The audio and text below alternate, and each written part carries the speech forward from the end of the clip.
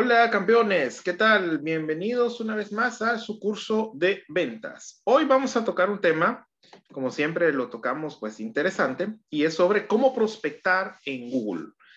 Cómo prospectar en Google.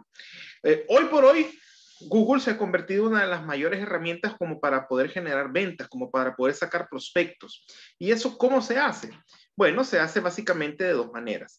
La primera es a través de páginas de resultado, es decir, yo busco algo y el resultado que me despliega Google, de ahí yo puedo sacar información.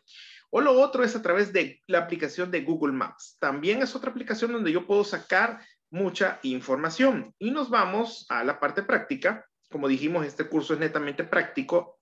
Eh, vamos y empezamos con, por ejemplo, eh, doctores doctores aquí en San Salvador.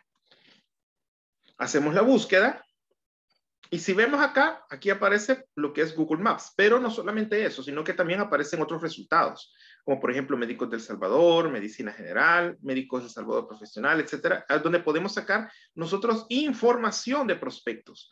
También podría ser, por ejemplo, eh, en este caso, pues Google Maps, buscamos acá doctores, aquí ya tenemos ya la búsqueda, doctores, y nos va a aparecer un sinfín de información, un sinfín de información. Este, aquí aparece no solamente la ubicación que podemos ver acá, sino que acá su sitio web, cómo llegar, etcétera, si tuviera sitio web o no tuviera sitio web, ¿verdad? Por ejemplo, este no tiene sitio web.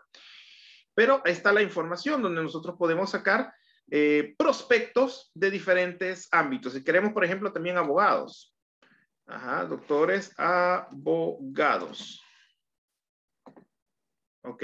Y lo mismo va a suceder. Vamos a tener un sinfín de prospectos donde nosotros podemos eh, sacar la información, donde podemos sacar información para esos prospectos que necesita pues nuestro servicio y nuestro producto.